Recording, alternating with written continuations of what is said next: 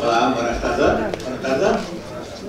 Bona tarda a tothom. Els donem la benvinguda a aquest Consell de Barri de Sants, un ple estiu. Aquesta vegada estem molt fresquets aquí dintre perquè fora fa molta calor. Comencem, com sempre, donant el primer, el primer punt de l'ordre del dia, és la lectura i aprovació, si s'escau, de la, de la de la, de la reunió anterior. Suposo que heu tingut temps de llegir-lo, en principi, hi ha alguna al·legació podeu dir, i no donarem per aprovada. Ningú vol fer cap comentari sobre l'acta, llavors queda aprovada. El segon punt d'ordre del dia és l'informació sobre el barri de Sants, i li passo la paraula a la nostra regidora, Laura, endavant. Moltes gràcies. Aquest? Madame Botó. Molt bé, moltes gràcies. Bé, molt bona tarda, gràcies Domingo. Eh, començar dient, fent una observació, la, l'anterior Consell de Barri vam, vam passar unes butlletes on, on es demanaven impressions sobre, sobre el barri, sobre problemes que n'hi havia, sobre el que agradava, el que no agradava. Aquestes butlletes estan en principi dissenyades de cara a la, a la mesura de govern que estàvem mm, treballant en aquell moment sobre temes de, de convivència, espai públic, eh, però comentant i bueno, una proposta de, de la vicepresidència del, del Consell, la veritat és que surten eh, temes molt concrets que ens ajuden també a nivell tècnic a donar seguiment. Això vol dir que també hi ha persones doncs, que ens costa més parlar en públic no? i que no agafem la paraula, però que a través de les butlletes, moltes d'elles eren temes molt concrets, òbviament si a la butlleta es posen temes generals com uh, que hi ha molta circulació de cotxes, probablement no tenen una, una resposta immediata, però si, per exemple, al carrer Blanco número 50 es feia un esment o un de Palau sobre temes de senyalització i de més, que sapigueu que a partir del següent Consell de Barri habilitarem també aquest espai que és via escrit, no només per qui no vulgui participar, també podem fer-ho de viva veu, però ens ho portarem de l'equip tècnic i són accions que entre Consell de Barri i Consell de Barri anirem a visitar i anirem a veure i després doncs, anirem com sempre donant, donant retorn en els Consells de Barri de, també del que es passi per escrit. Com deia, agrair també eh, que en aquest espai via escrit es posi el més detallat possible o el més concret possible les actuacions doncs, que, que hi ha queixes o que existeixen problemes perquè ens ajuda més que a temes generals que també són ben rebuts. De l'anterior Consell de Barri no, no tenim gaires punts, eh, molts d'ells van ser contestats en, en aquell moment, d'altres doncs, ara faig un, un repàs eh, ràpid, són temes que coneixem i també alguns no són de, de senzilla solució, però són temes que entre Consell de Barri i Consell de Barri, doncs, eh, tant l'equip tècnic com els consellers, el conseller de Barri, conselleres de diferents temes han anat a, a visitar. Sortia el tema del mobiliari urbà i, i els accessos dels jardins de la Rambla de Sants, per exemple, aquest és un tema que des de, des de la inauguració dels jardins eh, ens estem trobant en diferents espais de, de participació. Òbviament s'ha informat el, el servei de neteja per fer intervencions més completes, més intensives als jardins de, de la Rambla. Estem en aquest moment trobant la situació alternativa al disseny de, dels bancs que estan sent malmesos per males pràctiques, bàsicament i trobar-ne la solució perquè els propers no ens passi eh, el mateix i per tant trobar-ne un sistema resistent per, per no estar canviant constantment un mobiliari que òbviament costa, eh, li costa a, a tots els barcelonins i barcelonines. Ara aquest moment també ha començat, el mes de juny ja, ja ha començat l'actuació d'educadors de, de la campanya de l'oci nocturn. Eh, L'objectiu és conscienciar els usuaris de, del jardí sobre el descans de, del veïnat i sobre la cura de, de l'espai l'espai. Es comentava el tema d'escales mecàniques i ascensors. En principi, des de llavors no, no s'han rebut o almenys no tenim constància de, de més incidències. El tema de la campanya d'oci nocturn també afectava i va ser un dels comentaris de l'anterior Consell de Barri a la plaça Osca. Avui també parlarem perquè explicarem el pla d'usos i l'estat de pla d'usos que, que és una demanda de, de la comissió de, de seguiment. En realitat aquesta campanya de l'oci nocturn és una campanya que porta molts anys, de fet no sé si hi ha gairebé 15, el tema és trobar a on és efectiva i, i com treballar-ho. I la idea és sensibilitzar igual que als jardins de la necessitat de compatibilitzar el descans veïnal amb, amb espais concrets. I per tant es concentrarà en, en dos espais del districte, els jardins i plaça d'Osca, amb intervencions de dijous a dissabte en horari de 11 de la nit a 3 de la matinada. Va sortir les obres del carrer Càceres, avui portem també les imatges imatges per fer l'explicació una mica més concreta en els punts de, de l'ordre del dia. Uh, sobre el carrer Burgos també va sortir algun esment, properament es donarà més informació i es convocarà la comissió de seguiment de, de, dels jardins, de, de l'obra dels jardins de Rambla de Sants. En aquest moment estem en la primera fase d'expropiació, de, que era la unitat C, els que coneixeu, alguns aquí que coneixeu molt bé de què, de què estic parlant, aquesta primera fase ja ha estat aprovada, comptàvem amb el, amb el pressupost, uh, és l'espai que es troba entre Burgos, Cruïlla i Riera d'Atena, eh, tenim la previsió de començar en breu aquest, aquest any, ja està publicada la declaració de béns i drets, eh, està projectat fer en aquell mateix espai els pisos de protecció oficial pel reallotjament dels afectats i les afectades de, de les diferents unitats i en principi aquí doncs, ja contem amb el pressupost que ja s'ha dotat. Altres comentaris que sortien era al carrer Blanco. Carrer Blanco va haver-hi un, un esment d'un veí o d'una veïna sobre el problema dels contenidors i les motos a, a la vorera. Es va instal·lar des de llavors un, un fito al costat dret del carrer per dificultar doncs, aquest, uh, aquest estacionament indegut de, de vehicles. S'ha fet una mica d'avaluació, el que deien és que continua havent-hi havent problemes i per tant uh, haurem de, i ja hem informat a obres uh, i llicències al Departament de Manteniment per canviar-ho, per col·locar un altre fitó a la part esquerra i impedir al final doncs, que, que segueixin estacionant els vehicles sense impedir el pas de vianants, perquè aquí també ens trobàvem amb dificultats d'espai.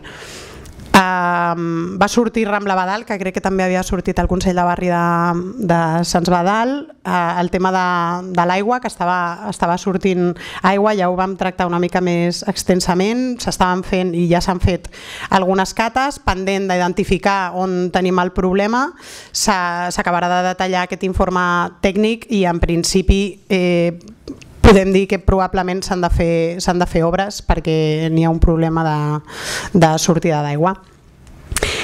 Sobre la mesura de relacions de proximitat es va recollir, com deia, doncs, a aquesta, aquesta prova que vam fer a través dels, dels papers per qui heu anat arribant a l'últim Consell de Barri vam donar unes paperetes on s'explicava i es feien algunes preguntes. Intentarem també a cada Consell de Barri eh, recollir propostes concretes a través també d'escrits de, que ens portarem per, per analitzar. Algunes activitats també des de llavors a Vallespir 12 amb l'antic pla Pla Buits, uh, s'han fet sis activitats des de març fins a juny uh, adreçades a espais familiars i òbviament a, proposta del veïnat. També l'Orden Kenny, que ja està, que ja està funcionant, ja està funcionant molt bé i s'estan intentant doncs, um, treballar amb el veïnat per si, doncs, uh, sobretot al principi, eh, poden haver-hi molèsties sobre el tipus d'activitat i de més, però en principi doncs, la idea és aprofitar aquestes instal·lacions i aquest espai um, per treballar i per fer, per fer activitats. Actualment s'està tramitant el permís per fer un mural pintat també a la mitjanera i s'està treballant amb, amb el veïnat.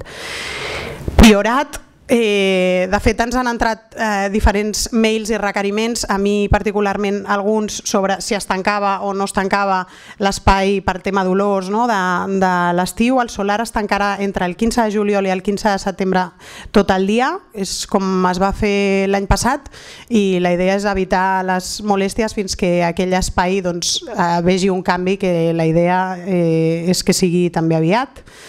Eh, bueno, només volia informar perquè ens han preguntat molt. També es va fer una visita tècnica, va haver-hi una, una veïna que va fer diverses demandes sobre Guitar i Malxor de Palau Um, no les diré totes perquè la veritat és que havia des de senyalitzacions del camí escolar, tema d'aparcaments de motos, de cotxes, el pipicant, eh, no sé si recordeu, però va ser com una exposició bastant extensa. Tant la consellera d'Ecologia de, Urbana com els tècnics van fer una visita i proposen algunes solucions que si cal doncs, eh, després podem comentar, si no a, a la veïna ja se li ha donat eh, resposta.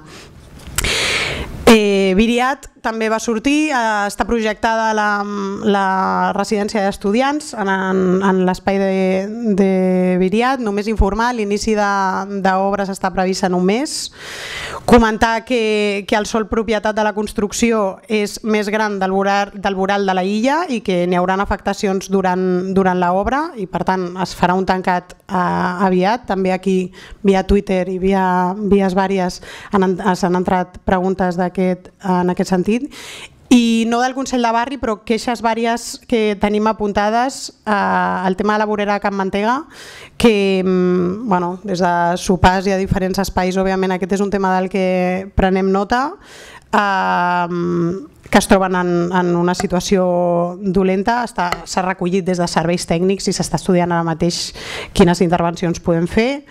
Igual plaça de Sants amb el vessal de fang, que està pendent de, de revisar, i alguns temes més que no, que no eren de Consell de Barri però que si voleu doncs, després al torn obert també podem, podem abordar.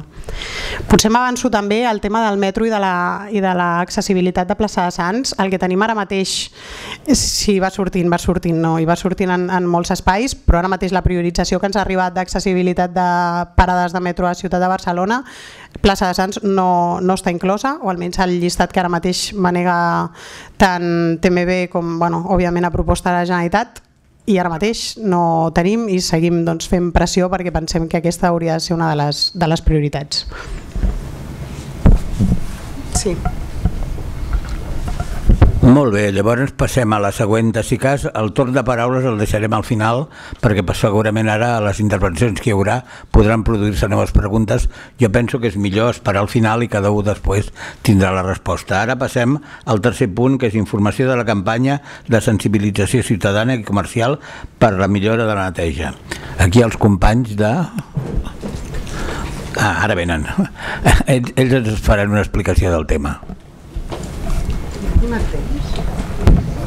Posem. Sí, aquí. Funciona Funciona? Hola. Mira, aquí tens... Hola, hola, hola. Ara. Per aquí? No poder posar-te en aquest millor, però com vulgueu, eh? I és per no molestar la diapositiva. Papo, ¿verdad? Ah, no. Es veu bé? Perfecte. Hola, molt bona tarda. Em dic David, i aquesta és Eva i som informadors ambientals en la campanya de sensibilització ciutadana i comercial per la millora de la neteja. Um, amb, aquest, amb aquesta explicació uh, intentarem introduir-vos una mica com és tota la campanya i què estem fent cada dia al carrer. Potser alguns de vosaltres ens heu vist, alguns no, no ho tinc molt clar, però ara anirem veient. Eh, primer de tot, dir-vos que som 100 informadors en tota la ciutat. Som 100, 20 exclusivament dedicats a comerços, a temes de residus principalment i de la seva bona gestió, i nosaltres som 80 dividits en grups de 8 per estar a tots els districtes. Aquí a Sants, el districte de Sants Montjuïc, som 8 i nosaltres som dos d'aquells. Mm, pots passar-me la diapo? La campanya, bueno, 5 cèntims de què és la campanya. És una campanya de sensibilització ciutadana i comercial, com ja hem dit, a tots els districtes de la ciutat que dura 12 mesos, tot un any. Van començar aquest febrer i acabarem al febrer de l'any que ve. Després, doncs, bueno, ja veurem. I la idea és, mm, primer, informar i també apoderar i fer corresponsables a la ciutadania perquè facin dintre del que és la gestió de residus i la seva bona deposició i la neteja dels carrers i places. És a dir, no només són responsables el servei de neteja, sinó nosaltres els ciutadans. Nosaltres estem tant per recollir informació com per informar al ciutadà. I bueno, aquesta seria la presentació de campanya. Ara veuríem quins són els seus objectius. Com ja hem dit, eh, un dels seus principals objectius és identificar les males pràctiques que fan tant la ciutadania com els comerços. Després el concepte aquest de corresponsabilitat, de que els residus són de tots. I tant és dels serveis de neteja i de la institució el, i les empreses contractades de recollir-los com de la ciutadania, d'evitar generar-los i de la seva correcta separació i d'intentar bueno, no embrutar els carrers i places perquè és un espai públic, és de tots i la qualitat de vida a Barcelona se'n veria reflectida. Després, també millorar la percepció d'aquesta neteja. És un altre dels nostres objectius principals ja que eh, és important que si tots veiem un ambient net, també diguem-ne és una mica l'efecte crida, que no ens interessa que estigui brut perquè s'embrutarà més. I és una mica també fer que faci goig, no? la ciutat de Tona ens agrada viure en un lloc net i polit. Uh, I per últim, el tema de la sensibilitat, és a dir, intentar explicar, intentar informar i fer diferents campanyes que ara a continuació explicarem, de temes concrets per tal de donar tota la informació a la ciutadania necessària per tal de que formi part dintre d'aquest cercle, d'aquesta correcta gestió de residus. Uh, van començar, com ja he dit, al febrer. El febrer, de l'1 al 15 de febrer, vam fer una enquesta inicial, que li diem d'aquesta de tres sonades, en la qual estem ara fent de nou també, perquè es fa tres vegades a l'any, on és la màxima recepció de, de dades. Fem moltes preguntes per intentar entendre i saber què fa la ciutadania i què pensa respecte a tant contenidors com papereres, tema de gossos.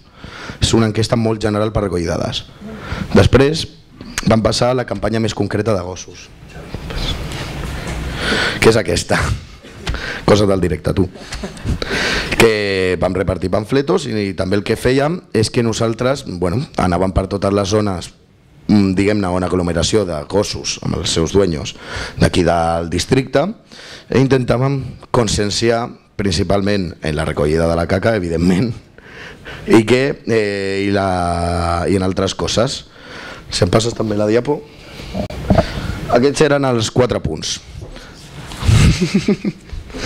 no et preocupis. El primer de tot és, és aquest, és el tema de, bueno, el gos té anar lligat, el gos eh, pot entrar o no pot entrar, on pot anar, però sobretot el fet de que, que ens molesta a tots moltíssim anar pel carrer i veure bueno, deposicions d'animals i sobretot més si la trepitgem. pues, ser passats en aquest tema, insistir, insistir, insistir. I com a novetat tenim que la deposició de l'animal no només a la paperera, sinó que és més recomanable tirar-ho al contenidor gris pel seu correcte trentament, per comoditat també dels diguem-ne als superaris de, de Beseneta i, sobre, i també a l'estiu pel tema olors. I l'altra novetat és tema pixums. Es comença a recomanar que si és possible portar una ampolleta d'aigua perquè aquests pixums que facin els animals també tirar-li aigua i netejar-ho, ja que aquest pixum és molt àcid i si anem pel carrer i mirem una mica la base de les papereres o dels fanals estan com corruïts, això és degut a això. Llavors també és una mica intentar mantenir el mobiliari urbà. També per últim teníem aquí les diferents àrees de gossos que tenim al districte per dir-li a la gent on pot anar, on pot deixar sola, eh, suelto el gos perquè jugui i tal. Després vam continuar amb altres campanyes que bueno, us explicarà una mica la meva companya. Molt bé. Bueno, bona tarda. Eh, una de les altres campanyes que vam fer eh, era sobre mobles i trastos vells. I principalment el que nosaltres vam fer és passar per tots els carrers del districte de Sants i vam picar porteria per porteria. I totes aquelles que vam tenir la possibilitat que els veïns ens van obrir van penjar un cartell informatiu amb el dia que a aquesta zona li toca la recollida de trastos vells. Una mica per informar i que tothom sigui conscient de quin dia toca i de no trobar-nos eh, mobles i trastos vells fora de dia, ja que això pues, no fa goig veure. Vale. L'altra campanya que vam fer és sobre la, el correcte ús de papereres i aquesta campanya la vam enfocar una mica més a la, a la ciutadania més jove no? i per fer-ho com ho vam fer? No? Vam posar uns vinils que són aquests, a tres places del districte, que són a plaça La Marina, a l'Espanya Industrial i a la plaça Naves. I amb aquests vinil el que volíem fer és una mica als joves que ens apropessin a nosaltres i fer un joc, com de bàsquet, no? Dir-los que els seus residus es posessin allà i el llancessin, a veure si feien canast i tot això, i alhora parlar amb aquests joves i una mica explicar l'ús de la paperera, perquè realment no tot va a la paperera no? i és una mica conscienciar de que hi ha coses que és millor que es llencin al contenidor i tot això. I quan no hi havia possibilitat de parlar amb joves, el que fèiem era una petita enquesta a totes les persones que trobàvem a la plaça, una mica demanant la seva opinió en quant si hi havia suficient paperera, si creien que la gent utilitzava bé i tot això. I per últim, això que veuen aquí és una cosa que portem fent des de febrer i farem tot l'any, que són uns punts que tenen una principal problemàtica de neteja. I nosaltres hi passem diàriament a mirar aquests punts i a veure com evolucionen. I tenim uns paràmetres, bueno, mirem si hi ha mobles, si hi ha brutícia fora, si hi ha caques de gos, tot això. I fem una mica un, com uns indicadors per veure si realment la nostra campanya està evolucionant i si estem fent incidència sobre la ciutadania i realment estem veient que de mica en mica aquests punts que hi passem diàriament estan millorant i realment estem contents, no? una mica la campanya que millora. I bueno, bàsicament és tot això el que fem. Bueno, moltes gràcies.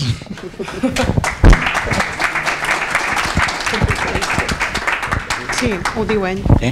Bé, uh, si hi ha alguna pregunta sobre aquest tema, uh, no marxeu perquè uh, si algú vol fer una pregunta i llavors quan s'acabi ja al final hi haurà el torn de preguntes corresponent. Eh? O sigui, ara, si algú sobre temes de neteja, aquest senyor vol preguntar alguna cosa. Soc Albert i... Un segon, què? Ah, un segon.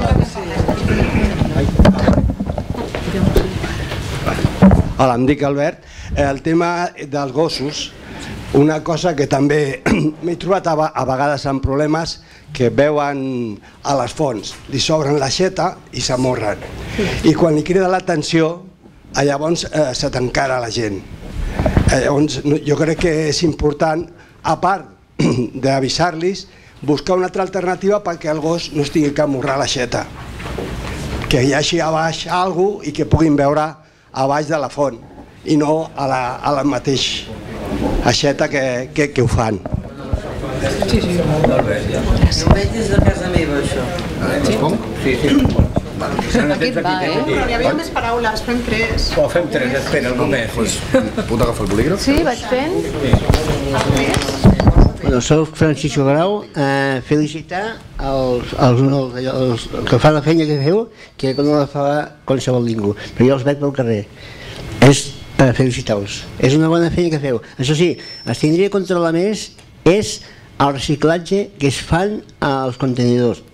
Jo l'altre dia va haver dos companys vostres que passaven per les botigues i els vaig dir, anem al contenidor aquest dels, de les bessures, és el, el marron, el que hi havia. Hi havia cartons, sí. plàstics, tot. Vull dir que, que s'ho apuntessin. Tothom no fa igual. Va ser d'això. L'altre és contra els blancs, tot. Vull dir que això es tindria de controlar una mica més. Vull dir que, clar, passen aquests amb els cartons i fan tot el que volen. Vull dir que les botigues, llavors, són els que ho paguen. La botiga és un negoci, perquè si la botiga no obre, Vull dir que, això sí, una bona felicitació la feina que veu vosaltres. Molt bé. Una altra paraula? No hi ha més paraules? Doncs ja podeu contestar. No, d'aquest tema només. Només aquest tema de neteja. Bueno, primer, la primera pregunta, bueno, intervenció sobre el tema dels gossos i les fonts. Mm, primer cal dir que, com ja he dit, són 8 informadors per tot el districte de Sants Montjuïc, que és enorme. Viuen aproximadament, si no m'equivoco, unes 40.000 persones. 150. 150? Ah, pensava només en Sants, perdó. A la Marina ja són 30.000, és veritat. Eh, estem 8 hores al dia, estem de 10 a 2 i de 4 a 8 i per parelles passem per, tota, per tot el barri. Ens costa molt veure-ho tot, ho intentem però costa molt. I llavors si nosaltres com treballem des de la pedagogia, des de la conscienciació i la corresponsabilitat, si ve, veiem algú fent una mala pràctica, sigui amb gossos, sigui amb mobiliari, sigui amb residus, ens apropem i parlem amb aquesta persona. Perquè potser no sap com fer-ho bé o intentar convèncer de que per què és millor fer les coses bé. Nosaltres no treballem des de la sanció ni res, treballem des de la pedagogia. Llavors és primer, primer aquest primer intent que jo crec bastant positiu i moltes persones s'hem trobat que potser no sabien certes coses i a partir d'aquí pues, han començat a fer-ho millor.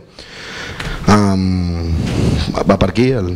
Sí, no, jo l'únic, perdona, sí. referia a, a posar una alternativa al, a l'animal perquè no tingui que... Clar, clar. Ah, això no, no ens correspon. Nosaltres si ho veiem pues, diem, dispensi, faci servir una ampolla d'aigua, un cap vas o qualsevol cosa per intentar no...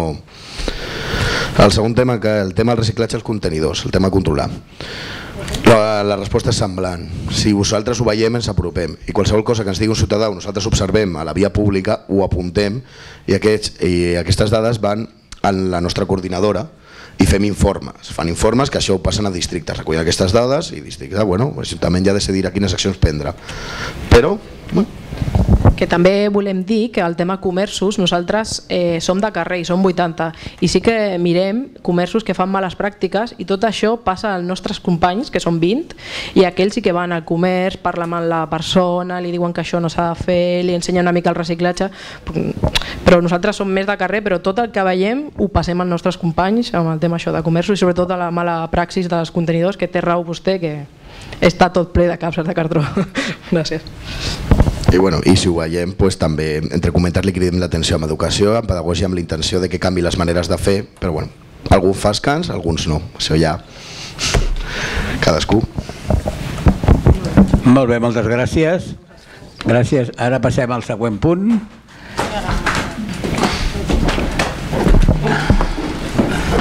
Aquí tenim a la senyora Àngels Boix, que ens informarà sobre presentació de normes reguladores de la, prac, de la prac, participació ciutadana.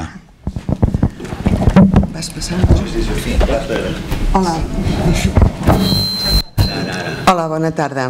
Bé, eh, que venia a presentar avui és el que en el llarg de ja diversos consells de barri s'ha presentat, van presentar també el Consell Ciutadà, que són les normes reguladores de participació, però era preceptiu doncs, portar-ho a tots els consells de barri perquè tots poguéssiu estar assabentats del mateix. Eh, si recordeu, al principi de la legislatura es van fer unes reunions en què doncs, entitats, en veïns a nivell particular, eh, veïns i veïnes i van participar i possiblement recordeu que en alguns doncs, es van fer allò els gomets, què volem, què no volem, com ho volem. No? Una miqueta va ser allò com, no, ens, no, no ho acabem d'entendre però el resultat doncs, és el que avui presentem. I els antecedents i el procés d'elaboració doncs, no partim de zero, partim de molts anys enrere, de que la participació sempre ha estat doncs, un punt fort de la nostra ciutat. Però en aquest moment sí que és el primer cop que es fixen les bases eh, de la democràcia directa a través de potenciar les consultes ciutadanes. Què pretenem amb això? Què ens aporta el nou reglament? Doncs l'impuls de la iniciativa ciutadana com el motor de la participació, clarificar els canals de participació, processos, òrgans, fòrums i consultes, reforçar la democràcia directa en consultes ciutadanes, sistemes de garanties i control de més fiabilitat i més transparència i participació presencial i digital. Eh, fins ara vivim en, l'època de la tecnologia, les xarxes, tots estem connectats, tots estem doncs, al moment el que passa i, i no s'entendria la participació que no es pogués fer doncs, des d'aquests canals, no? per aquelles persones doncs, que per temps, per les circumstàncies que siguin, doncs, no els hi agrada o no poden anar presencialment doncs, a fer un, una participació en el moment que, que, que es necessita, doncs ho poden fer a través de les xarxes, aquestes són recollides i s'incorporen doncs, en el tema que en el moment sigui perceptiu. Els òrgans de participació de la ciutat, com sabeu, són els de ciutat, el de districte i el de barri. Des de ciutat penjaria el Consell de Ciutat, els Consells sectorials, que tots aquí al districte coneixem, i el Consell Ciutadà, per exemple, vam fer-ne un doncs, la setmana passada, que és el que ens pertoca doncs, fer-ne per districte. No? Després el de barri, que seria, bueno, de districte també tindríem el, les audiències i fòrums ciutadans i de barri serien els propis consells de barri com el que estem ara.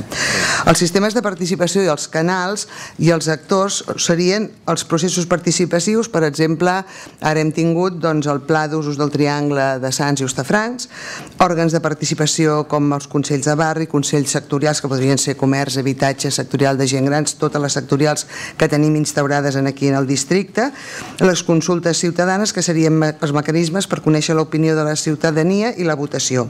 Aleshores, la novetat dels actors impulsos serien la intervenció ciutadana mitjançant la recollida de signatures. Els elements a destacar del nou reglament serien la iniciativa ciutadana, que es potencia com a mitjà d'incidència en l'agenda política per promoure la participació, s'acredita l'interès general mitjançant la recollida de signatures suficients i, cal, i quan s'acordi la convocatòria els grups municipals poden dir si accepten o no els seus resultats. En aquest cas, com veieu en aquesta gràfica, tenim les de ciutat, tenim les de districte de Sants Montjuïc, veureu que no són les consultes ciutadanes, el procés participatiu i les incorporacions al punt de l'ordre del dia. Però tot això ho baixem a nivell de barri i a Sants serien convocatòries de Consell de Barri i processos participatius. Per fer les primeres, o sigui, els Consells de Barri es necessitarien 612 signatures i pels dels processos participatius 817. A partir d'aquí doncs ja podríem convocar eh, el, que en el moment pel que es calgués. No? Els elements a destacar del nou reglament serien doncs, el, la rigorositat, com hem dit, seria la informació, el debat i el retorn. El retorn obligat per part del govern municipal amb un període de 60 dies des de la seva finalització, promoure la popularitat i diversitat de la paritat de gènere en la composició dels òrgans i aleshores s'estableix el nombre de convocatòries dels Consells de Barri entre 1 i 4 sessions anuals. Les consultes ciutadanes seria el vot directe al conjunt de la ciutat, excepcionalment a nivell de districte i no s'exigeix un mínim de participació.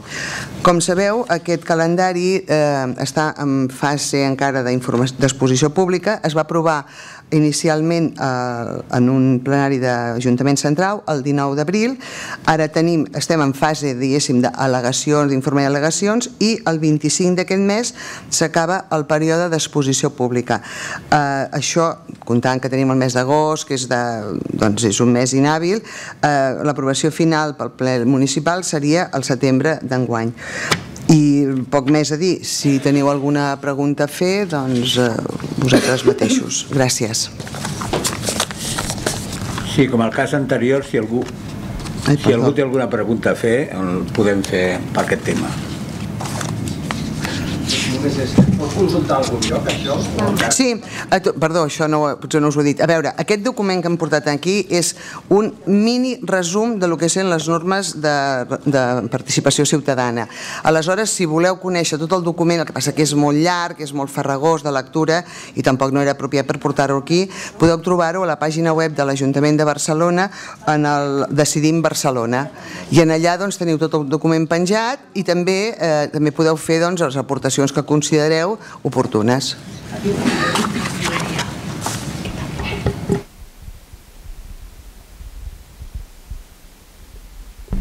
Bé, ningú, com que no hi ha més preguntes, ara passem a la paraula a la senyora regidora que començarà el cinquè punt, estat actual del pla d'usos.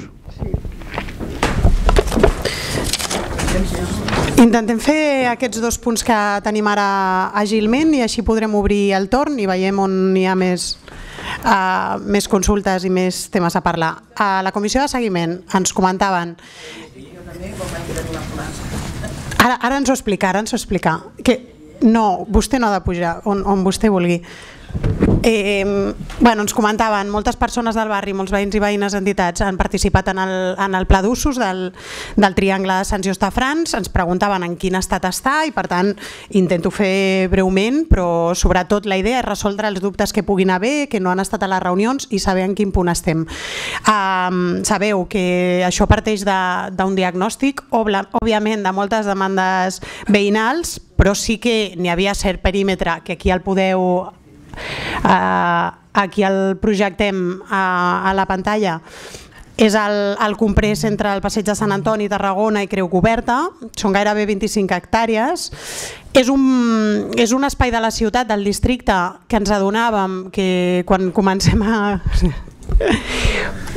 quan comencem a comptabilitzar els establiments per cada 1.000 habitants ens trobem en els ràtios d'espais com bueno, zones del Raval o de Gràcia eh, de 19 establiments per cada 1.000 habitants. Això, com us podeu imaginar, és una, és una quantitat elevada i té impactes també en, en la convivència i en el veïnat i per tant és una mica la, la motivació que, va, que, en, que vam tenir per començar a treballar aquest pla d'usos, un pla d'usos que el juliol del 2016 el que fem és suspendre l'atorgament de noves llicències d'activitat de concurrència pública en aquesta zona una zona que òbviament va estar estudiada per serveis tècnics perquè aquest pla d'usos i aquesta zona més, podeu veure, està dividida en tres, que és, bueno, avui el Miquel Àngel no ha pogut venir i em toca a mi explicar, espero que la part tècnica puguem resoldre també i si no ens portarem als, als dubtes que puguin haver, però sí que n'hi ha una divisió per, per, eh, per diferències en, en l'àrea urbana, per diferències de, mm, urbanístiques i de problemàtiques i per diferències de teixit comercial, per diverses diferències es va marcar aquestes tres zones de regulació, que era el Triangle de Sants, el carrer de Creu Coberta i la zona d'Ostafrans. Eh, des de llavors, des de la suspensió de llicències fins ara, doncs, s'ha treballat en diferents espais de, de participació. La idea i l'objectiu principal era preservar i potenciar el comerç tradicional tradicional, sobretot en el casc antic de Sants i Ostafrans, Creu Coberta, Sants, amb el treball i la feina també de les associacions de, de comerciants que, que han participat i que han marcat molt també quins eren els objectius als que volíem i podíem arribar amb aquest pla d'usos. És un pla d'usos que prohibeix l'obertura de noves activitats de concurrència pública a la plaça d'Osca, al carrer Riego, entorns, i a la resta de Triangle el que intentem és evitar noves concentracions. Òbviament a plaça Osca doncs, hem arribat amb una concentració molt elevada i parlàvem d'aquests 19 establiments per 1.000 habitants, però la idea és també prevenir en altres zones del districte per no trobar-nos amb aquestes noves concentracions i això es fa per criteris urbanístics i per això doncs, n'hi ha una, una delimitació de tres, de tres zones. Més o menys els objectius són aquests, prohibir obertura de noves activitats vinculades a la concurrència pública a aquella zona, potenciar l'eix comercial i per això doncs, la importància de que tinguessin un, un paper prioritari, Uh, també en el, en el marc d'aquest procés es va decidir a través de, de, després de mesures sonomètriques que havíem dut a terme a plaça Osca es va decidir reduir des del passat mes de maig una hora el tancament de terrasses a plaça Osca, això vol dir doncs, que ara ens trobem amb eh, tancament a les 11 de la nit entre setmana i a les 12 els divendres i vigílies de, de festiu. Sense més dir que això ha passat, eh, o sigui, aquesta proposta de, de pla d'usos ha passat per eh, la comissió de l'Ajuntament de Barcelona d'Ecologia de, Urbana, el CEUM, que li diuen. És una, és, un, és una comissió on es debat a nivell polític amb la resta de, de grups de fet, d'un compromís previ, i això sí explicar eh, que n'hi havia sobre el període de delegacions, en el moment en el que es fa aquesta aprovació doncs n'hi ha una mena d'exposició on es poden fer al·legacions. Inicialment n'hi havia un compromís de fer-ho a dos mesos, es va fer a un i això ens ha obligat a ampliar, legalment només ens permet ampliar el 50% del que s'havia fet inicialment i per tant tindrem un període de delegacions, i això passa demà per comissió de govern, m'estic avançant a una cosa que encara no s'ha signat, però eh, una ampliació fins al 31 de juliol del període de delegacions.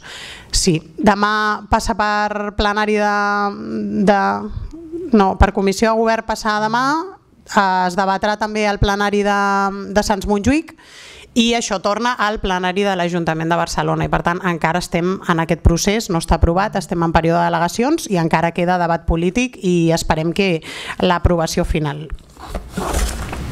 Per més dubtes intentarem resoldre la millor manera. Jo, sí, veig que ensenyaria una, una, una pregunta. Si fem l'últim, que és superbreu. Sobre aquest tema, eh? No? A veure...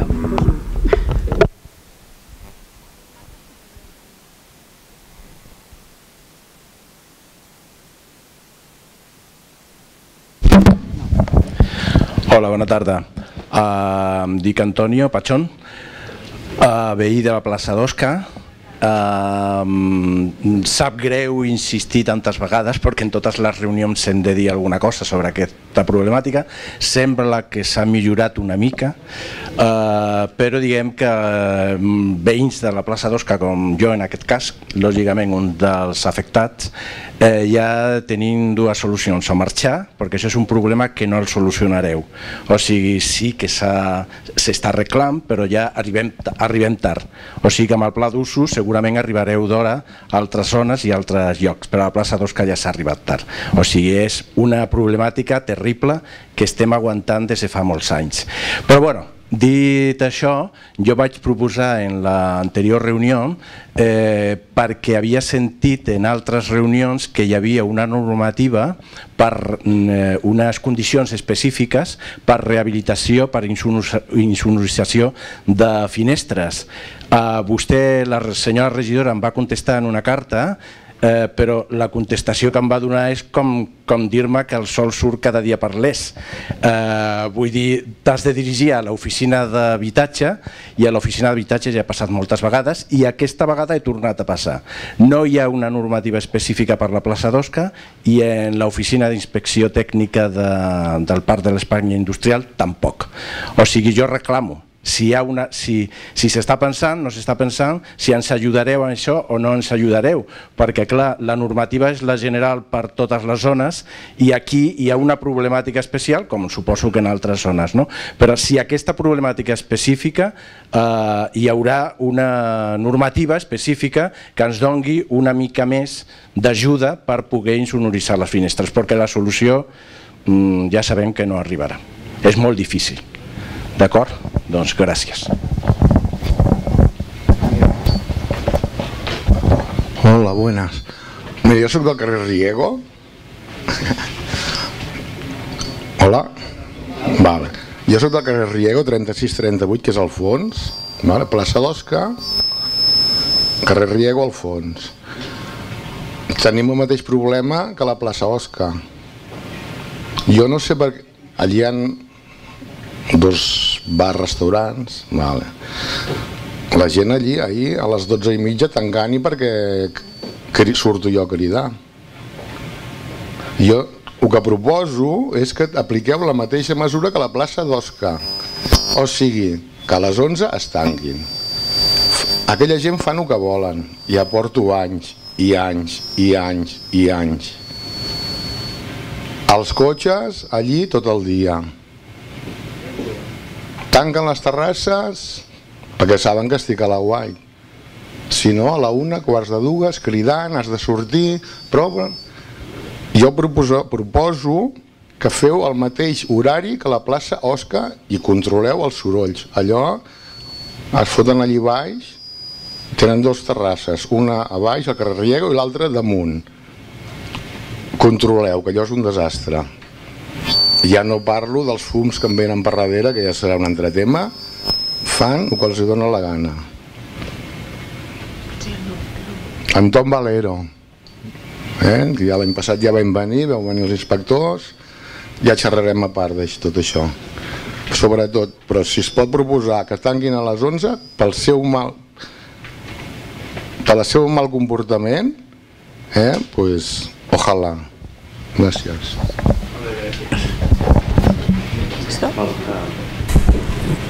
Molt bé, doncs responc jo, sóc Xavier Ferrer, conseller tècnic del districte, també per política de la taula. Uh, primer a l'Antonio, doncs, ja com un vell conegut, per desgràcia, uh, de la plaça Osca. Doncs, mm, en fi, nosaltres quan vam arribar ho dic, per, ho, ho dic per desgràcia en el sentit de que ha de vindre en els espais, ja, ja s'ha entès, oi? Uh, justament doncs, per exposar no, la situació que viuen eh, els veïns i veïnes de la plaça d'Osca eh, respecte a l'ús intensiu eh, i de forma privativa, efectivament, per part de terrasses a la plaça. Nosaltres, quan vam arribar, eh, ens vam, de les primeres coses que vam fer va, ser reunir-nos amb, amb veïns de la plaça d'Osca, en aquell moment hi havia un grup d'intervenció a l'espai públic, que havia donat bons resultats, però òbviament ens havíeu demanant eh, actuacions, eh, més o menys vam entendre i, i així ho hem anat fent que el primer que havíem de fer era mm, doncs, limitar la possibilitat de que s'hi obrís més establiments. Efectivament arribem tard, plaça d'Osca i Riego eh, està saturat, ens ho van dir els números que ens va fer els estudis de, previs per poder fer la suspensió de llicències, de que estàvem amb una densitat per sobre a llocs com Gràcia o eh, llocs com Ciutat Vella i que per tant eh, doncs teníem un problema greu. Eh, nosaltres el que podíem fer en aquell moment és el que vam fer, suspen suspendre eh, la possibilitat d'obrir més llicències i fer aquesta ordenació en pla d'usos que per tant eh, ara doncs, eh, no en podrà haver-hi més, com ha dit, eh, com ha explicat abans la regidora, i amb el sentit en què va adreçat la, la, la, el pla d'usos aquest. El que també vam dir és, un cop haguem acabat el pla d'usos, començarem amb l'ordenació singular de les terrasses d'Osca, perquè la plaça d'Osca té aquesta ordenació dins de les ordenances de terrasses de ciutat, es pot ordenar de forma singular. I aquí podem veure de quina forma ordenem la plaça eh, tant en la disposició urbanística, que no entra en una ordenació singular, perquè també la debatrem, la nostra intenció és debatre a fons com ha de ser la plaça d'Osca i pot ser una ordenació urbanística determinada, però també un tema de disposició de taules, de, ter de terrasses, d'horaris que ja els hem modificat i que per cert nosaltres tenim una ordenació singular a Blai que també hem modificat horaris i que eh, diguéssim els restauradors han impugnat i que ara estem doncs, amb una pugna judicial per a veure com acaba quedant però que la nostra mm, intenció és que es redueixin horaris en les zones eh, sobreocupades com poden ser Blai o com poden ser Osca i per tant seguirem batallant en aquest sentit.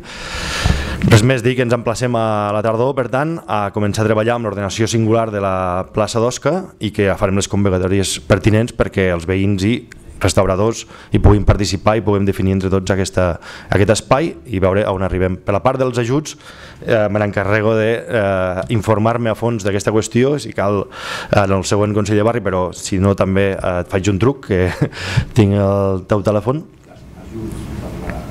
Sí, sí, sí, justament. Ens informarem d'això i, i, i t'informarem correctament o degudament al respecte.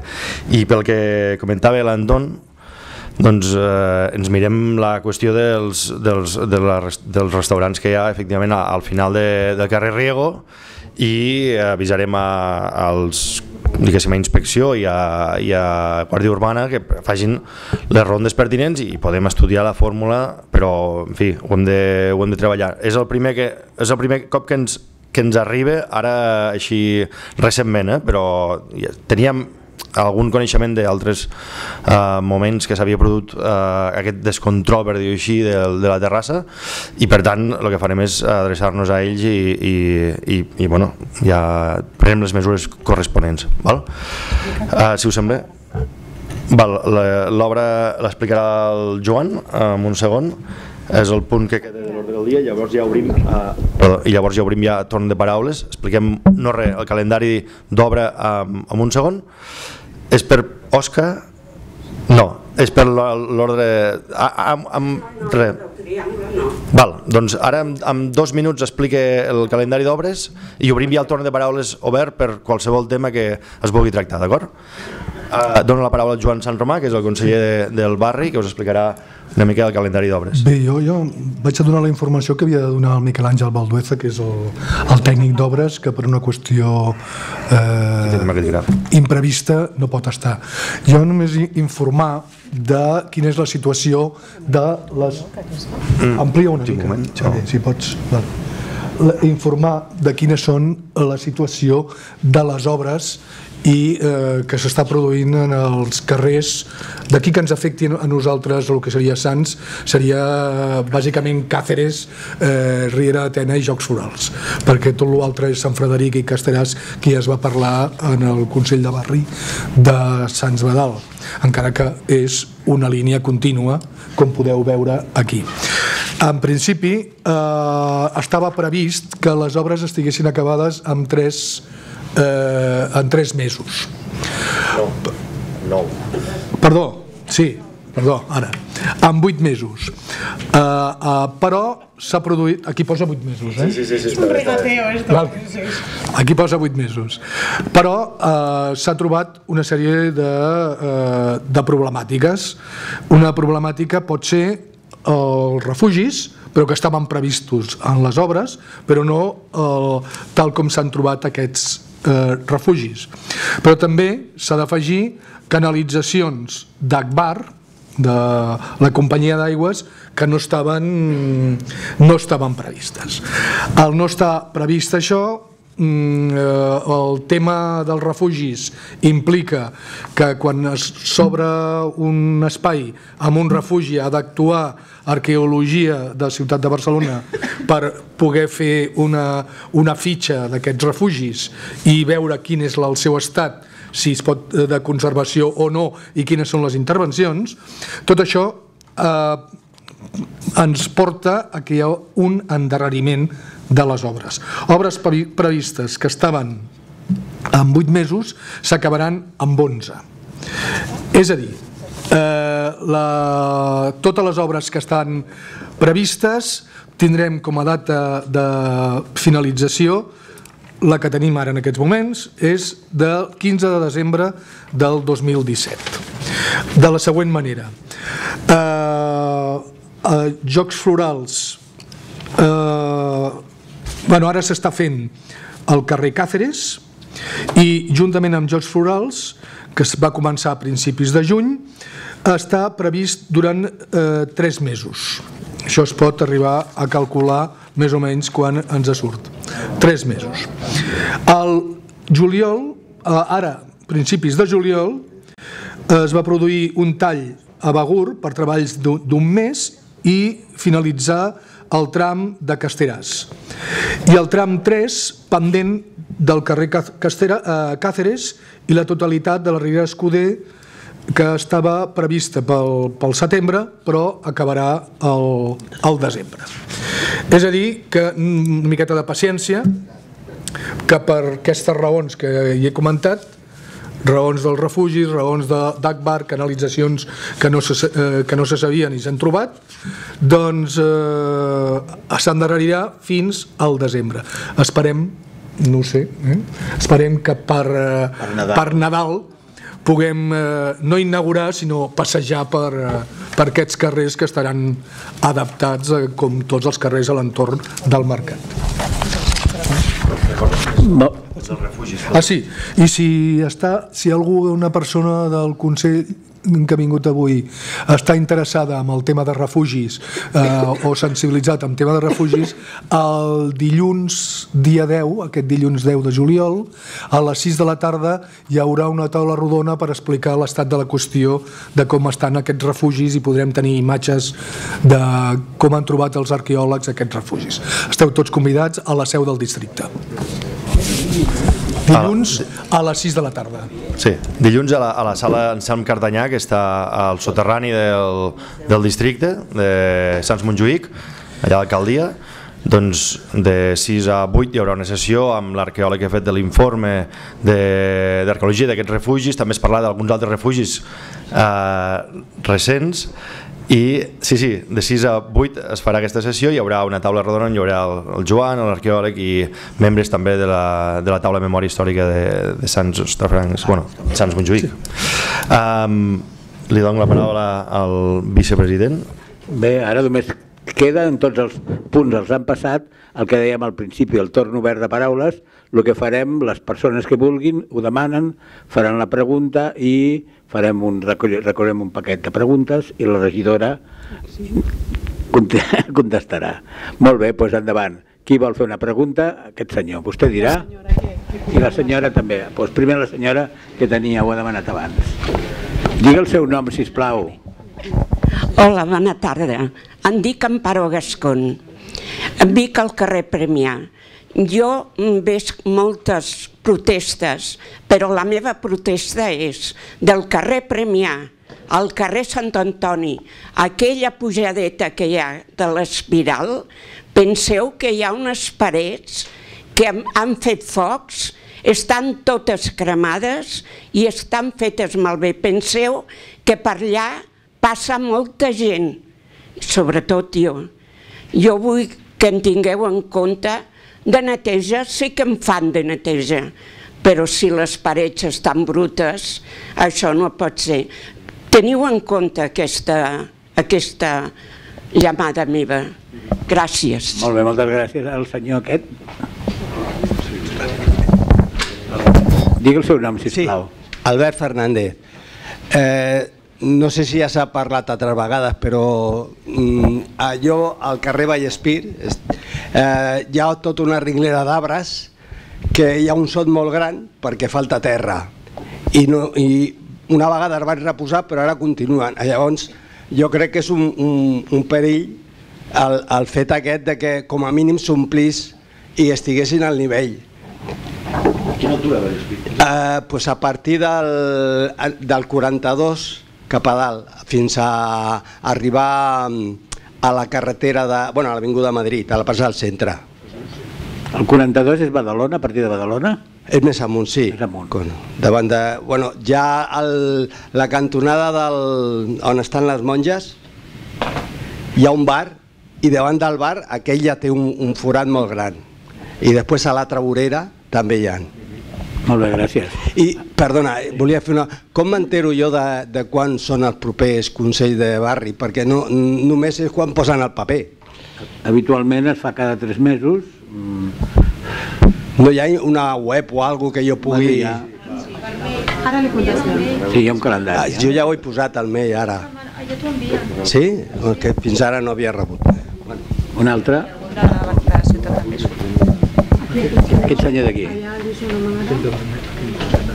Sí. Hola, bona tarda. Nom, nom sisplau. Sí, mira, Ramon Aguadé. Mira, nosaltres som veïns del carrer Violant d'Hongria, el tram que va del cinturó de la Ronda fins al carrer Tenor Massini. Fa 35 anys que vivim allà i mai s'ha fet cap actuació a les voreres ni a les centrals dels pàrquings, o sigui, les aceres estan fetes un desastre, des de sempre. Llavors volíem saber, perquè anem veient que els carrers adjacents els estan remodelejant, els estan arreglant, fan arbrats, i aquell tram de carrer fa 35 anys que està igual. Hi ha les fites perquè els cotxes no aparquin, n'hi han quatre de l'any de la Maria Castanya. No són ni modernes ni res, estan rovellades, no sé, és un tram de carrer com si s'hagués oblidat. Molt bé, gràcies. Gràcies.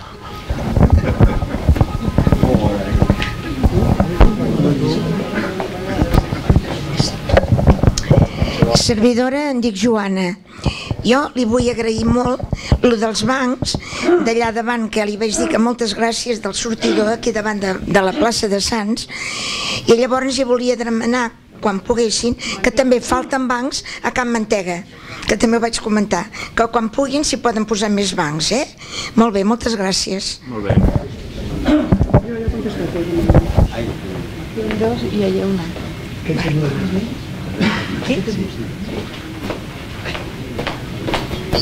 Farem cinc, cinc preguntes. Bona tarda. Em dic Enric Segura i vic a Violant d'Hongria. Jo estic interessat a veure què és el que passa, el que antigament era a Cala Agapito, perquè veig que entren, surten, fan obres, tanquen, ara han arreglat els mapes de davant, saber com està aquesta situació. Gràcies. Molt bé. Uh, portem cinc, uh, sem, uh, li sembla, regidora? Contestem ara, fem una contesta i després un altre torn. Comencem, bueno, tu, Sí, soc molt breu. tu mateixa. Ara, ara tornem a obrir, tornem a obrir torn perquè són temes eh, breus.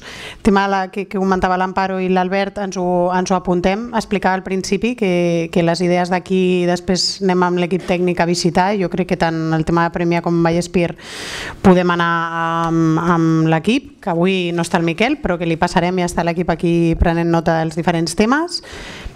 Sobre la informació, el més visible és als cartells a l'espai públic, però és cert que n'hi ha una saturació important i que fins i tot així és difícil no? que visualment ens entarem del Consell de Barri, llavors si, pot, bueno, si via correu electrònic és una bona opció també i via web, però jo crec que correu és la més àgil i on també pot fer la consulta de qui, quan serà el proper i li podem contestar i per tant si aquesta és una via àgil és, està, està habilitada.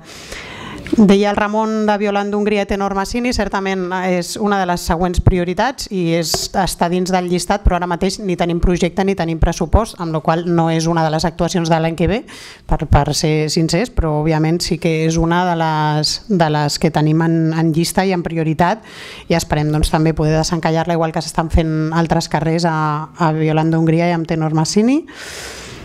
La Joana, no marxo jo sense els bancs de Can Mantega, Joana, saps que de vegades coses molt senzilles no, no ho són tant. Eh, els de la font van ser, i ho coneixes bé, un tema doncs, que a vegades l'arquitecte, una cosa que una veu molt òbvia i que la Joana doncs, repetia constantment i era de sentit comú, doncs, ens costa una mica de convèncer l'equip, però ho vam aconseguir, de fet m'enviaven fotos ja quan estaven pintant els bancs, en plan ja ho tindrem i farem el mateix, insistirem fins que ho tinguem a, a Can Mantega i aquesta insistència sempre aconsegueix al final doncs, que, que ens en sortim. El tema de la model del segle XX, eh, que l'Agapito, eh, perdó, l'Agapito, Eh, bueno, sí, aquí s'ha tractat diverses vegades, de fet al, al Consell de Barri hi han vingut eh, alguns dels col·lectius, en aquest cas en aquest Consell de Barri, perdó, els joves, eh, en aquell espai s'està fent una habilitació de, de l'interior amb certes dificultats perquè és un espai que havia estat tancat i que quan s'ha començat a fer i aixecar el terra doncs, a, bueno, no, no explicaré tots els detalls de l'obra però pensàvem que seria més ràpid. S'està fent una, una rehabilitació base per poder entrar i, i donar-li ús a, a aquest espai sense una obra amb profunditat servei de neteja, habilitació de serveis bàsic, llum, aigua eh, i, i poca cosa més en realitat. I el que es farà és una sessió amb la Federació de Festa Major que necessitava de, de més espais i llavors una part del, del local la utilitzaran i l'altra és eh, els joves que estan, bueno, porten molt de temps treballant, de fet s'han presentat al veïnat i han muntat doncs, tot, un, tot un projecte, en principi doncs, eh, liderat pels joves i en concepte de sessió de l'espai per un ús d'activitats juvenils. Com deia, jo crec que és- bueno, s'estan esforçant molt, han vingut aquí i s'han presentat també al carrer a través de diferents activitats. Si manca informació específica estarem encantats tant de posar en contacte amb el col·lectiu que, està, que estarà entrant, no, no m'atreviria a dir data perquè com deia n'hi ha hagut alguns inconvenients amb, amb l'obra i s'ha endarrerit una mica però sí, hauria de ser en breu. Molt bé, doncs, si algú més vol demanar paraula aquí. Un, dos, tres. El meu nom és Olga Masgrau. Uh, la pregunta era, quan acabeu tota la zona entorn del mercat de Sants, que ara esteu fent Càceres, després fareu Tiniflomesta, no? suposo, seguidament, si us havíeu plantejat de cara al futur el que és la Rambla Badal, el que va de carretera de Sants fins a Antoni Capmany, és una Rambla doncs, que els rajols estan trencats, descuidada, gens atractiva, perquè si tu mires la part de Brasil és preciós, passar les vies és preciós, és com si fossin veïns de tercera o quarta, i a mi m'indigna veure que ara es vol tornar a fer l'Avinguda Meridiana, per exemple, quan hi ha moltes zones del barri de Sants que estan totalment fetes una merda, o la Glòries, no? que sempre s'està posant diner públic per refer, per refer Glòries i, per exemple, la part de Rambla de Badal és una part totalment descuidada. No només la Rambla de Badal, eh? si tu vas a mirar Vallespí, eh, tota la zona del carrer Almeria, la barri de Sants jo crec que està totalment oblidat, sí que ara s'està fent i bé, la idea era si de cara al futur teniu previst aquesta part, almenys de la Rambla de Badal, fer-la una mica més atractiu i no tan degradada ni com està ara. Gràcies. Molt bé.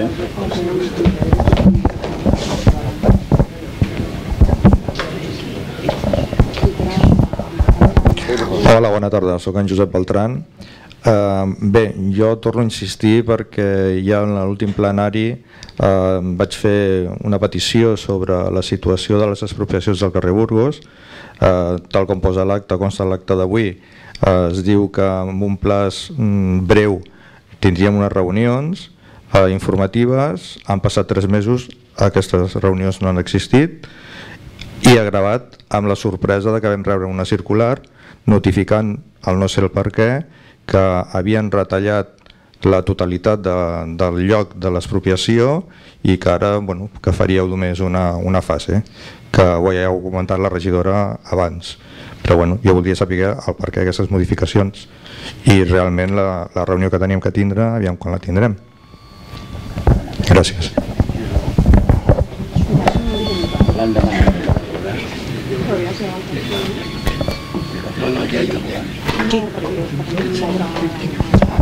Bona tarda.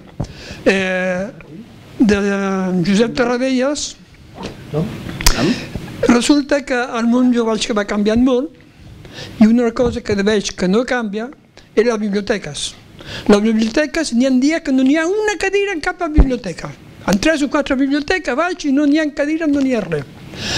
I considero que ara, en aquests moments, les biblioteques van a tancar al mes d'agost i que el eh, dissabte me tanguen i tot això. Quan el que tindríem que procurar que tots els dies siguessin oberts perquè tenim aire condicionat, perquè som gent gran i, no tenim un altre lloc a anar. Doncs les noves ja veig que amb la Camp Centell i tot això que eh, funcionen millor i està molt bé, però la d'aquí de l'Espanya industrial, eh, de, d'escorxador, tanguen i s'acabó. I la nova que fan a Conde Bellló, que se suposava que ja estaria acabada, i no sé quin horari eh, que ho faran. És a dir, considero que tenim que tenim més espai per la gent gran. Gràcies. Eh, Emili Garriga. Bona tarda. Jo em trobo de que volia posar... vi- Jo vic al carrer Antoni de Campmany, quasi cantonada eh, Sant Madí. Jo em trobo que volia posar aire condicionat i demanat a diverses empreses i unes em diuen que ara està prohibit de posar aire condicionat en els edificis, que no es poden posar. Oh, uns altres... Uns altres em diuen que si és a la repisa, que sí. Una altra empresa diu que no, que no es poden posar.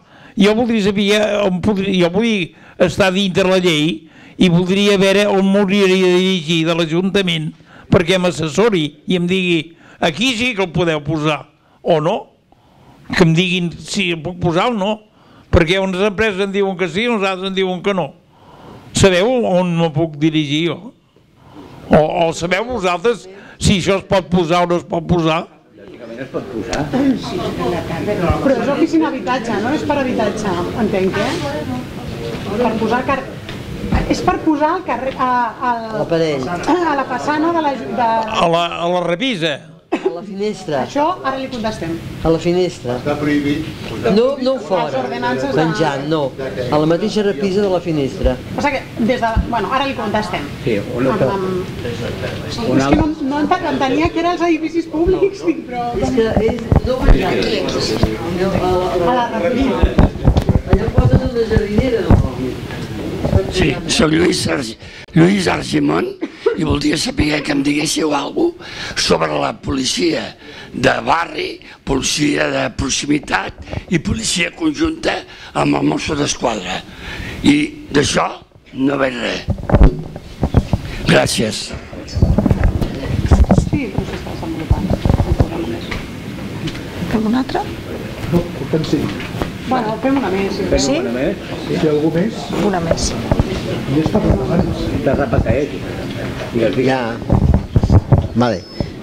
Soc Francisco Grau, eh, d'allò, a veure si es podria tenir una mica de control de lo que passa a la rambla, a la rambla d'aquí Sants, d'aquí de, sobre les vies, la justícia, botellón, pff, passes a la nit, és, una- és, de veritat, és una pena. Jo passo de vegades a la nit, però jo agafo me'n vaig a passejar del gos hi ha gent que no, no, se'n no se'n preocupa de les coses, vull dir que i veus el que hi ha, i dius, hòstia, i se senten allà, sota la gespa, tot, vull dir que es tindria de vindre una mica de control, una mica de, de la neteja, perquè està fet una porqueria. Després, a la, al carrer Priorat, que hi ha aquella zona de d'allò, allò és, és, de veritat, està brut. Ho llimpien cada dia, cada dia ho llimpien, però jo estic veient cada dia. De veritat, estaria de fotre una mica de control o agafar i passar i fer sancions. És la forma. A la passa al carrer Priorat, a aquella, aquella zona, que s'ha d'arreglar, però és que és una pena, de veritat. Allà és, ho deixen tot allà fet una porqueria, vull dir que passa una cosa, que dius a algú, escolta, a veure si, a veure si, ho, si ho agafes, el... encara t'insulten. Vull dir que... Vinga. Bon agraïment a la regidora de la tasca que està fent. Molt bé. Gràcies. Bé, ja pots contestar. Són sis?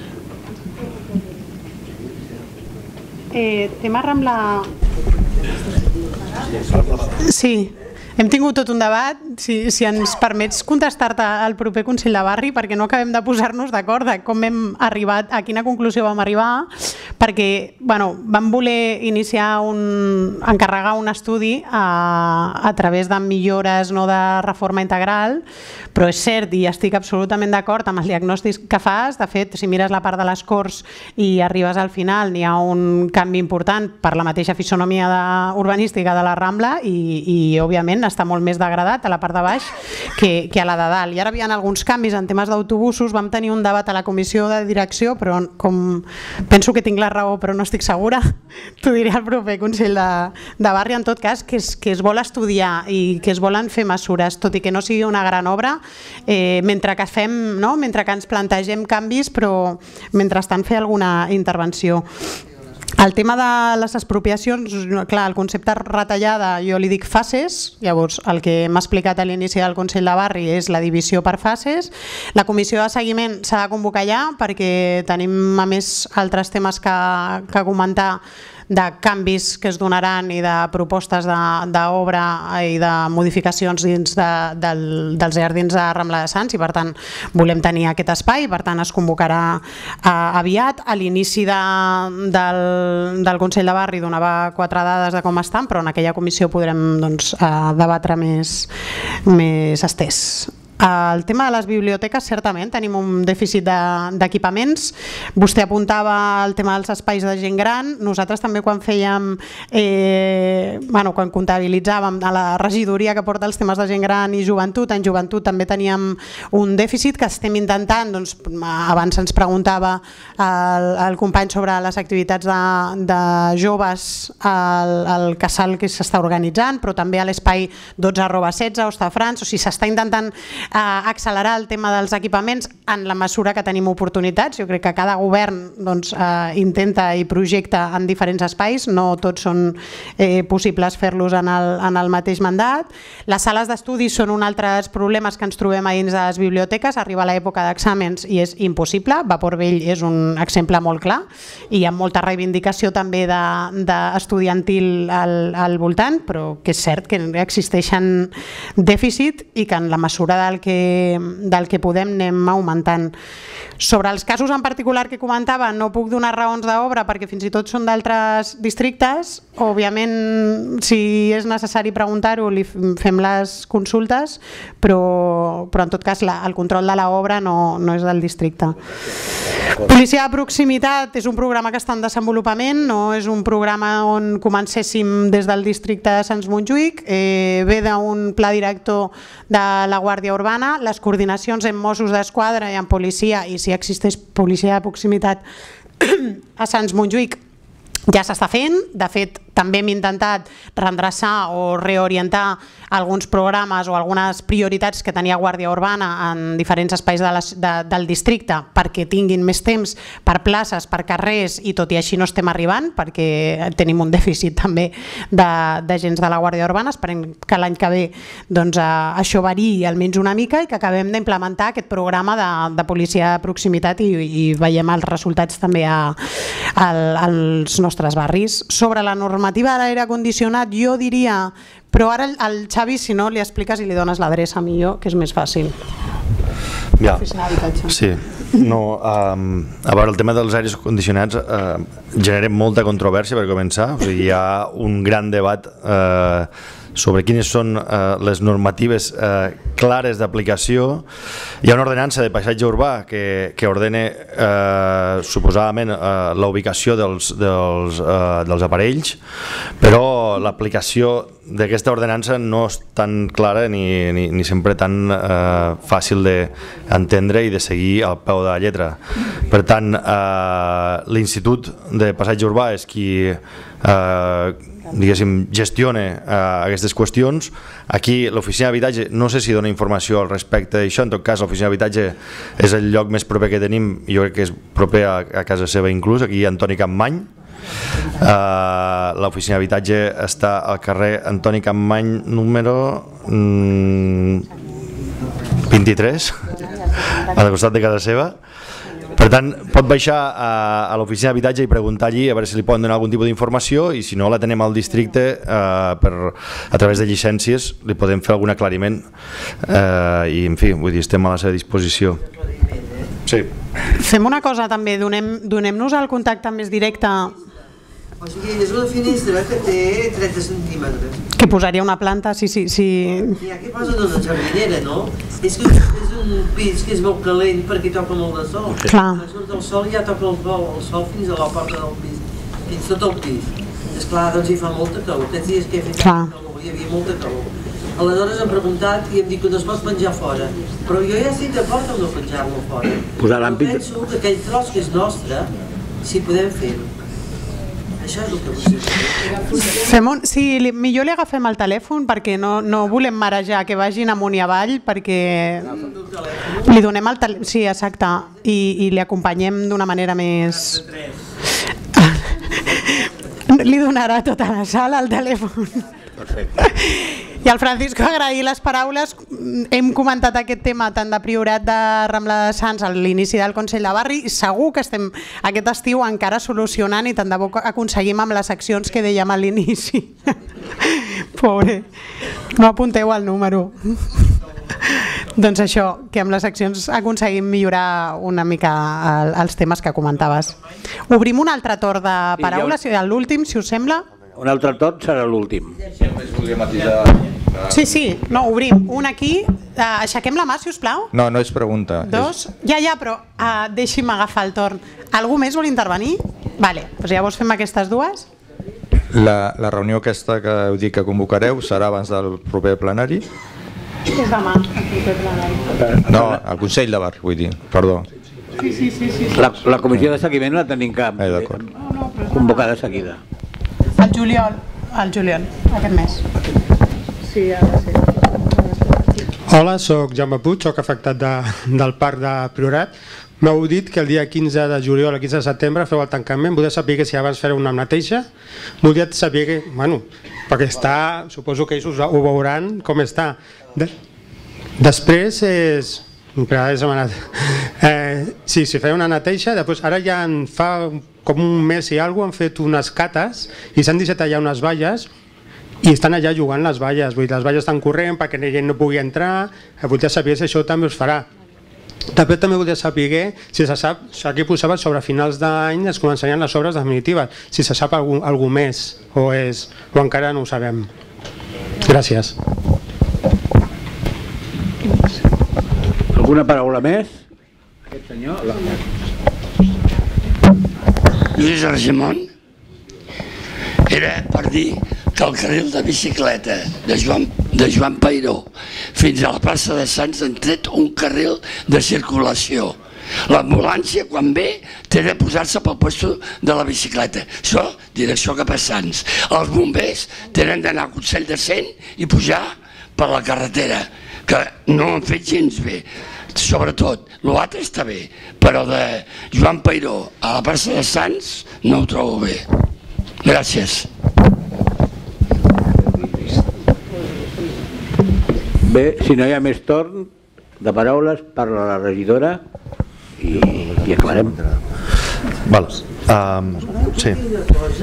I tant, i tant. L'únic, bueno, ens apuntem al tema de les valles i òbviament si no estava prevista la neteja la, la demanem perquè òbviament si allò estarà tancat mm, ha d'estar És tancat i diferent net. del que hem parlat abans, eh? És que eh, nosaltres vivim amb, eh, al carrer Antoni Campany, però a la part de darrere de, darrere de la cuina, diem, dona al carrer Pavia. Llavors allà hi ha com una mica de placeta i en ha tres arbres. Hi havia dos arbres més, els van tallar i no els han tornat a posar. I l'altre dia vaig veure que burxaven amb unes excavadores i burxaven. Pensava, mira, tornen a posar els arbres, però resulta que no, que s'ha convertit en un pipicant. Jo preguntava què faran, posaran els arbres o serà un pipicant per sempre?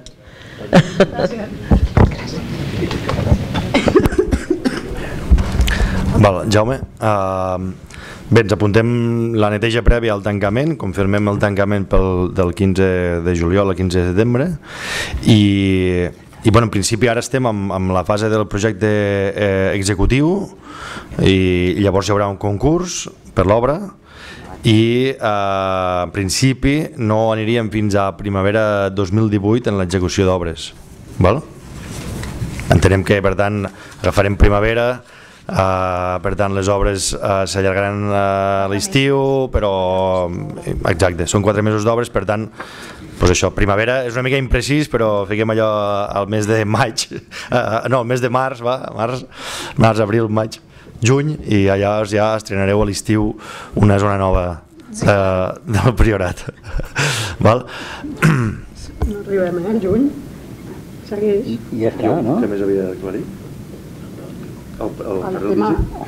El Carril bici. No. I, la, i, les, i els arbres. De... Ah, bueno, clar, ens ho apuntem i mirem a veure si efectivament estaven fent la cata per ficar els arbres o, o què, i si no, posarem els arbres. Demanem que reposin els arbres. Comissió de seguiment que serà abans de juliol. Ah, exacte, no, el que li diem així fora de micro potser era, però que la comissió de seguiment la convocarem abans de, de finalitzar juliol, val? Abans que ens anem de vacances si en tenim però bueno, eh, en tot cas per la meva part, els que no ens veiem tingueu bones vacances I a la festa major? Uh, ah, bueno, sí, farem, fem un apunt només. Un detall uh, que toca el, el Consell de Barri. Uh, Desitjar-vos també bona festa, festa major, que ens veurem, però que a més a més tindrem l'oportunitat de uh, tenir portes obertes ja de, de la lleialtat, la lleialtat s'encenca, ja estan en fase d'entregar-nos l'obra definitivament i per tant hi haurà totes unes jornades i uns actes de portes obertes. No ho considerarem inauguració perquè inauguració serà quan comencin les activitats i hi hagi ja diguéssim els gestors que, que seran gestors anirem per gestió cívica amb el que seria la, la idea és que vagi a través de la plataforma eh, de la lleialtat sancenca, que actualment s'ha constituït com a coordinadora de lleialtat sancenca i que estan moltes entitats del districte vinculades i que faríem, estem fent el procés de concurs, bueno, encara estem tramitant el, procés de concurs per gestió cívica per part d'aquesta aquest, eh, coordinadora i per tant això serà el mes, d'octubre però fins llavors tindrem portes obertes hi haurà diverses activitats que les estem eh, impulsant des del de districte i amb, amb coordinació amb la coordinadora, vaya la redundància i, i en fi us, us convidem a tots a que us hi passeu, hi haurà diverses activitats amb exposicions, amb, amb taules amb bueno, sorpreses vàries que si us passeu i veieu el programa Festa Major també les veureu allí amb horaris i amb tot el que pertoque. Joan vol dir alguna cosa? Joan Peiró i el ah. I, I també una, una petició que s'havia fet durant molt de temps en, en diferents consells i comissions de seguiment era que eh, no hi havia placa eh, a la plaça Joan Peiró i eh, podem anunciar aquí que a la plaça Joan Peiró es posarà una placa el dia 24 de juliol d'enguany eh, per mm, el nom ja el tenia però no hi havia placa doncs ja tindrem la placa molt bé, doncs gràcies a tot. Em queda una, una pregunta. Bueno, no, el, el comentari del carril bici, no? Que no... no Xavi con su festa major i... No, no, és cert, hem patit, hem patit la implementació d'alguna part de la ciutat amb temes de carril bici eh, que estan creant problemes, alguna part doncs, perquè s'estan perdent zones de càrrega i descarga, de, fa, de fet em recordava molt la Joan Güell i a tota la reivindicació que vaig viure des d'Escors eh, i òbviament tots els que estan donant problemes s'han doncs, de seguir estudiant, intentar trobar la millor solució, però ara mateix vaja, no li diré com ho solucionarem, si es solucionarà o si és un tema de, de treballar amb els... Vaja, és que no, no li sé dir ara una solució, però que està claríssim que alguns d'aquests carrils estan donant problemes i que s'han de seguir treballant i estudiant perquè no creïn conflicte amb el veïnat ni problemes com el que vostè esmenta. Bon estiu, amb qui no ens veiem i a gaudir de la calor. I a solucionar lo de l'aire condicionat.